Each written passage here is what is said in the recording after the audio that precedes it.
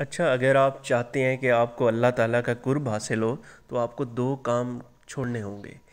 एक ये कि आप वो काम छोड़ दें जो आप दिखा नहीं सकते, और दूसरा वो जो काम आप छोड़ दें जो आप दिखाने के लिए करते हैं। जैसे अब आप तन्हाई के गुनाह हो गए। आप मौलाना इशफाक साहब का कौल है कि जब इंसान गुनाह करता है तो वो इधर उधर तो देखता है, अपने दाएँ बाएँ, लेकिन अपने ऊपर नहीं देखता कि उसको एक अल्लाह की ज़ात भी देख रही है। तो एक ये गुनाह छोड़ दें, दूसरा ये अगर आप कोई नेक काम करते हैं, जैसे फेसबुक पे डाल दो फिर यूट्यूब पे डाल दो, अगर आपने, आपके दिल में अल्लाह और उसके रसूल की सच्ची मोहब्बत है और आप चाहते हैं कि लोग आपकी बात से मुस्तफ़ हों तो फिर तो ज़रूर डालें।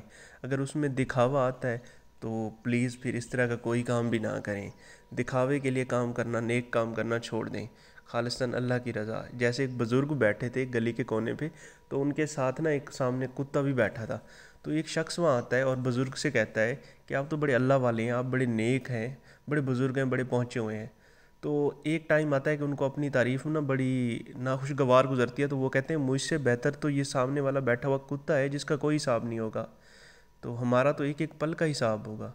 तो इस तरह इस अमल को नापसंदीदा किया जाता था।